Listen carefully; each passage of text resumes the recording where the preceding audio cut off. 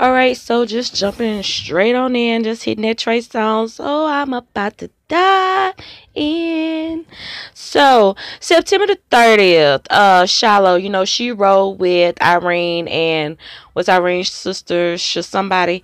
Um so them three supposedly came together. So this is the thing. So on September the 30th, she put when they killed Kenneka. we seen that footage on a tape. Man, I must have threw up everything I ate. Hashtag gone too soon. Now, I ain't seen no footage when they killed Kenneka. Like, straight up. I seen footages of Kenneka roaming through the hallway. I seen footage of Kenneka walking through the kitchen. I even seen footage of Kenneka where it looked like two people were um grabbing Kenneka in the kitchen right in front of the freezer. Now that I saw from the the videos that Rosemont released, yeah. But uh when they killed Kenneka, no, I ain't seen that. So I just want to know what footage did she see? Now you know a lot of people had a lot of stuff in their phone, and a lot of people claim they wasn't at the party, which truly was, and a lot of people um didn't get questioned by the police that was at that party. So some of the people that was at that party did not even give a statement. Uh, for example, like uh Kenneka's first cousin that claimed he saw the man cleaning the pool and it said that the pool was unavailable. So therefore, if he saw that, then that means he had to be there, you know, around two, three o'clock in the morning when all that whole pool shindig was supposed to be taking place. Now, if I'm wrong, y'all know y'all don't mind correcting me. But if she seen the video on tape where they killed Kenneka, then somebody need to go on and push that out there because you know it's a lot of people claiming they seen a lot of things, but they ain't putting no receipts out there. And you know, I know around this time they want was dropping the uh surveillance footages, but in not one surveillance footage did I see them killing Kenneka. And you know, y'all remember when P Rico had said that Teresa seen the footage of exactly what happened to Kenneka, like or whatever, like seen the parts we haven't seen, and that she knows what happened.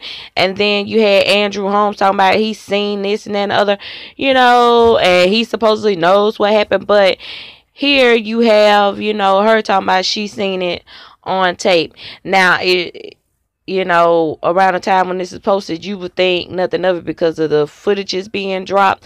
But you look at what she say when they killed Kenneka, not when Kenneka was walking down the hallway, not when Kenneka supposedly stumbled uh in the freezer. It say when they killed Kenneka, We seen that footage. And another thing, who is we? So who else saw this footage? You get what I'm saying?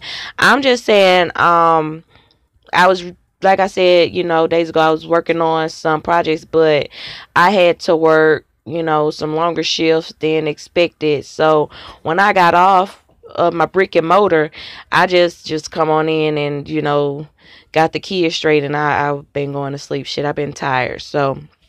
I got some catching up to do, true enough. But I just want to know who is we and what uh footage on tape that you see when um they killed Kenneka. cuz we still arguing the fact if she's even dead or alive now if you seen them killing her then uh you need to go on, on drop that so other people can see it and we can just say okay well the girl's dead. So now let's work on her killer. Because if not it's going to constantly be rumors about her being this witness protection uh this being a hoax there's a whole psyops you know all that good stuff. So I mean, if it is what it is, then come on and end this. Everybody bring forth your information and and put this to rest. You always under people comments, let that girl rest and stuff. Well, hell, if y'all stop withholding information and gone on and put the case to rest, then other people could rest. Because it's stuff like this that's constantly making you question what the hell is really going on. So way back in September, y'all seen the footage of her getting killed and you know didn't bother to tell everybody else. I mean, I'm just saying because I know clearly you ain't talking about that punk ass footage that they dropped from Rosemont. I mean, mm, I don't know. So, what we talking about? because ain't nothing I seen that Rosemont produced would make me that sick at the stomach to want to throw up. You know what I'm saying? Not even the pictures that they rolled around in the freezer because I just still felt like them pictures had life in them.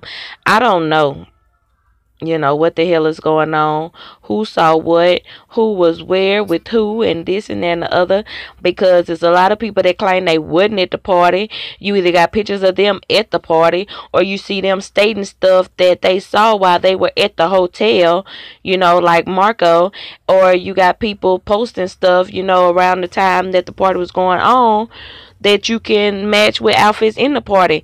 So clearly it's a lot of lying going on because clearly a lot of them know what happened and saying that they wasn't there so they don't, you know, have to be in the mix because like I said, there's a lot of people that was there that did not give a statement and has not talked to the police. So um it's some people that know more than what they saying and I just want to say once again with Forrest, that cousin, if he seen some stuff going on, why he didn't say something? Why he didn't help Kenneka? That was his first cousin.